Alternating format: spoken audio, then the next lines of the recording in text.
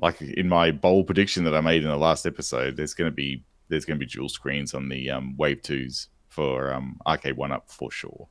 Like they can't not do it, and I'd prefer one with with um, full backglass art with the um, the BlahCade marquees um, that we offer for free you know, for digital cabinet manufacturers. They will look much better, don't you think? Yeah. Wait, wait, with with our logo on the back glass? Oh well, no. What are you just, talking know, about? You know the um the all the different backglass art that you prepared. Oh, for the all back the glass different... art that I made. Yeah. Yes. We you know they, they could have those. We we give them to them. Honestly, and, I'm um, sure that that Zen could come up with better back glass art than what I produce. Probably could. Yeah. Yeah. But you know, it's it's a starting point. It'd be I, I like one. my back glass art, and I, th- I think they're great. Um, and we have we actually had pretty good feedback from um, a uh, a fully paid up BlahCade member, of which you don't have to pay a single cent for, by the way.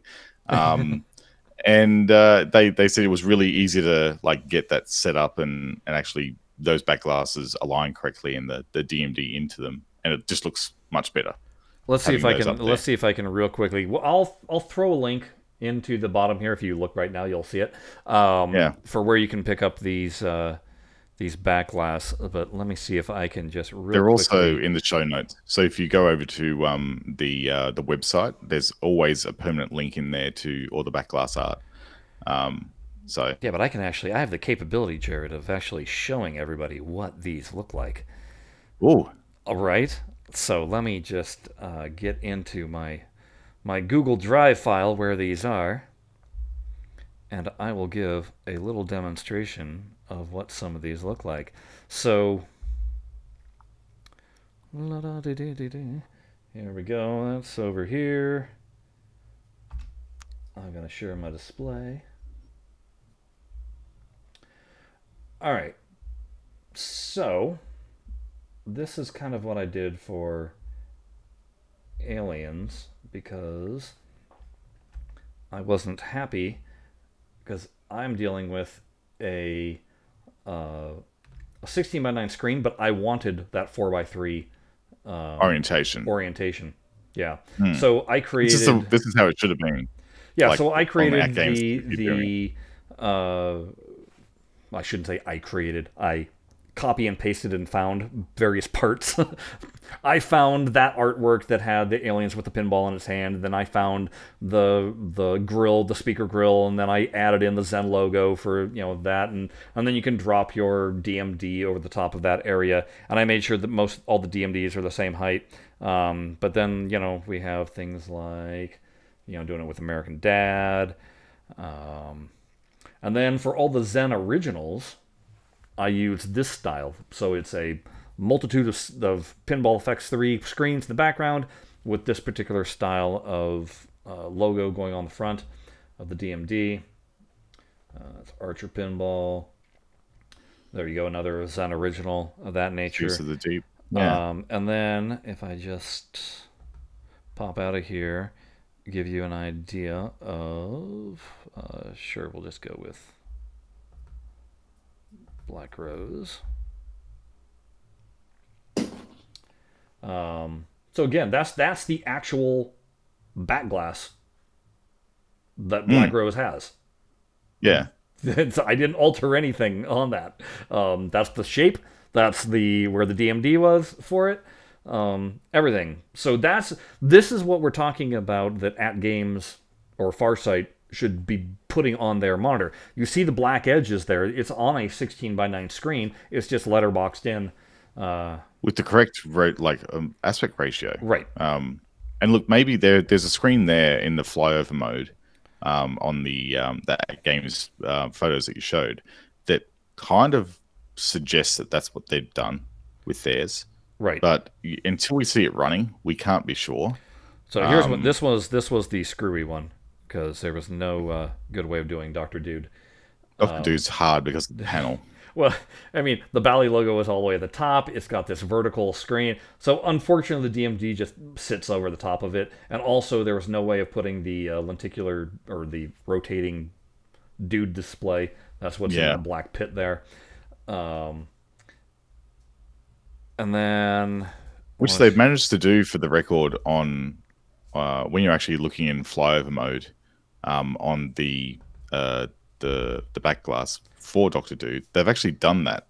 But look at um, how good would, would Fantastic Four look with that background. I like that background that I did on that.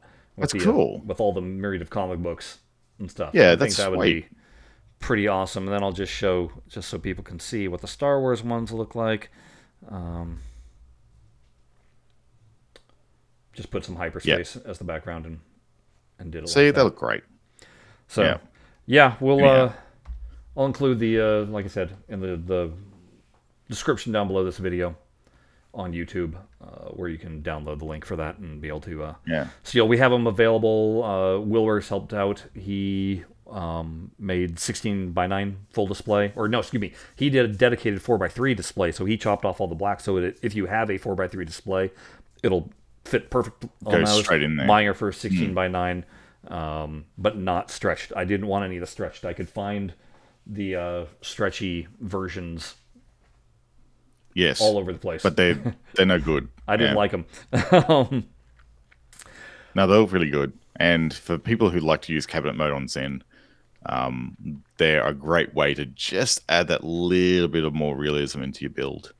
Um, Yeah, I haven't- You know, somebody, uh, and I've had links to it. I haven't seen it in action myself. Uh, there's animated back glasses oh, that have been made. Um, I don't know exactly how to make those work with with FX3, but I know that people have made them work. I wonder if the cabinet mode in FX3, for those ones like Safecracker that actually have a live back glass, I wonder if the cabinet mode allows you to actually throw that image up onto a second screen and just have it work. Uh, it's something I haven't played with because I haven't got the cabinet mode set up. Um, but maybe they've actually enabled that now for for the um, the Williams Well, collection. there's the other question. I don't know that these the the cabinet mode is anything more than uh, say a gift, Just the fixed view. of it just showing blinking lights that aren't coordinated with the actual game itself, or Right. if somehow it. I- It's, I mean, how would it pull that information? It doesn't have any access to your ROM. It's just an animated screen file. So Yeah, I'm more gonna say talking about- For, I'm- so for Safecracker, no, it's not going to function like Safecracker should. I'm just more talking about has Zen actually coded that into their cabinet mode, so Oh. you could th- you could throw up the the second screen up there like that. Well, that's Because my. I don't understand why Zen hasn't. Why they, Yeah. that hasn't been made available. It it it pains me. It would take them so so little extra effort for them to actually think about the back glass and throw that up as a second screen because the DMD is is separate, so they could just say that DMD as well as the back glass is Well, not only that, screen. but it's been coded because all you have to do is give a flick up on your your right analog stick, Yeah, and and, you can see the back glass, and it's fully animated to what you are doing at that very time. Correct. Yeah, it's fully synchronized with the playfield. Like the yeah, they. I don't know why they haven't done that. Hmm. V2. Why have we not complained to Mel about this? We should totally complain to Mel about this because he's totally going to go, "Oh, these two guys said we should do it." So everyone, drop everything and go and put that the the back glasses on the cabinet mode that only three percent of users use.